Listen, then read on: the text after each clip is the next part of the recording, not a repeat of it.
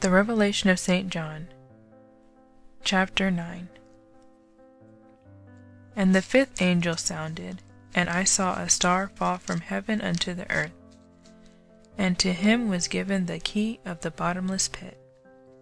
And he opened the bottomless pit, and there arose a smoke out of the pit, as the smoke of a great furnace. And the sun and the air were darkened by reason of the smoke of the pit. And there came out of the smoke locusts upon the earth, and unto them was given power as the scorpions of the earth have power. And it was commanded them that they should not hurt the grass of the earth, neither any green thing, neither any tree, but only those men which have not the seal of God on their foreheads. And to them it was given that they should not kill them but that they should be tormented five months. And their torment was as the torment of a scorpion when he striketh a man. And in those days shall men seek death, and shall not find it, and shall desire to die, and death shall flee from them. And the shapes of the locusts were like unto horses prepared unto battle and on their heads were as it were crowns like gold, and their faces were as faces of men, and they had hair as the hair of women, and their teeth were the teeth of lions, and they had breastplates as it were breastplates of iron, and the sound of their wings was as the sound of chariots of many horses running to battle. And they had tails like unto scorpions, and there were stings in their tails and their power was to hurt men five months. And they had a king over them, which is the angel of the bottomless pit, whose name in the Hebrew tongue is Abaddon, but in the Greek tongue his name is Apollyon.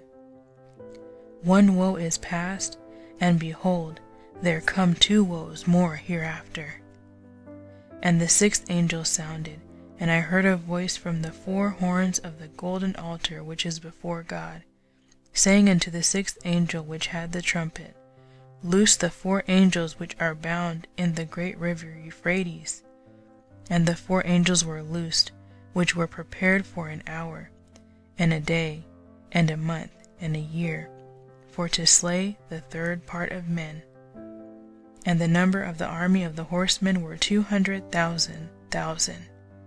And I heard the number of them, and thus I saw the horses in the vision, and them that sat on them, having breastplates of fire, and of jacinth, and brimstone, and the heads of the horses were as heads of lions, and out of their mouths issued fire and smoke and brimstone.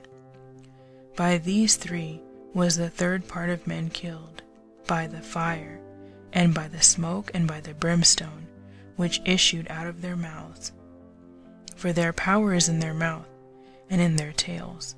For their tails were like unto serpents, and had heads, and with them they do hurt.